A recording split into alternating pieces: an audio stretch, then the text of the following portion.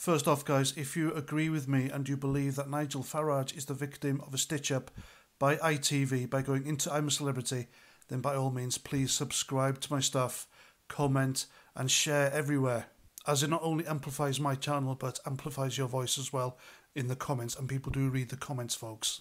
And that's that. Now, on to Nigel Farage. It is obvious now that ITV are trying to stitch up Nigel Farage. There was a reason they paid him £1.5 million to appear on I'm a Celebrity, and it wasn't for the ratings because the ratings have been kind of average. But it was all a trap. They lured him down into the jungle with all that money. Of course, when he's down there, he's cut off. He has no interaction or contact whatsoever with the outside world and vice versa. And it's been a ploy all this time to stitch him up, discredit him, and it's a setup. They made sure to put in contestants in there with him to confront him and make him look bad, but it hasn't worked because the guy is logical with his thinking and he doesn't lose his temper. That is very key here. That means he doesn't get riled up, and when you get riled up, you make mistakes, and Nigel knows this. First, there was Fred, the Remoaner Frenchman. He tried and failed to bait him over Brexit. Then there was some boxer who said some harsh words about him on Twitter a few years ago, but he didn't deliver. And then, of course, there's racist YouTuber and influencer, if you can believe that. And who the hell gets influenced by this woman? God knows. Nella Rose, who has made herself look worse than he is by simply opening her mouth. The woman is thick as mince. And then, when that didn't work, they simply cut him out of most of the broadcasting footage in the hopes that the public would vote him out. But now ITV have produced their ace card, and Nigel Farage's lawyers are apparently aware of this.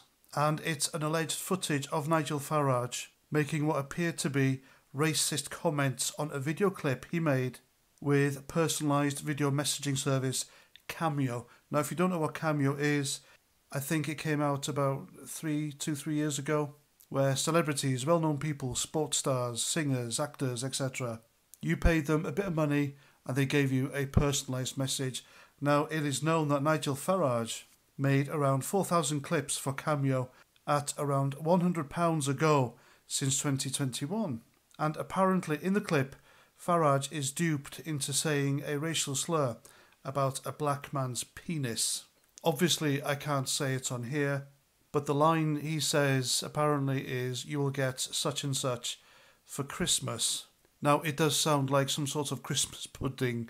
However, there is a specific word in there that could be seen as racist, but I don't think Nigel uh, knew anything about it and he was completely duped. He thought it was just an innocent message. So now ITV News are planning on running with this story and putting it out there while he's in the jungle and he can do absolutely nothing about it. And they have refused three times to give Nigel's lawyers this footage so they could do something about it. But alas, ITV executives are not very uh, cooperative and it's going to happen. But regardless, I think Nigel Farage is favourite to win I'm a Celebrity now.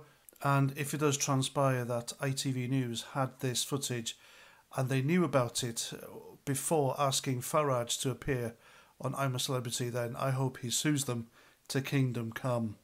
And there we go, that's my video. If you agree with what I said in this video, then please by all means subscribe to my channel and share my stuff everywhere. It really helps to beat the YouTube algorithm. And that's that. So until the next time, Roger Trout.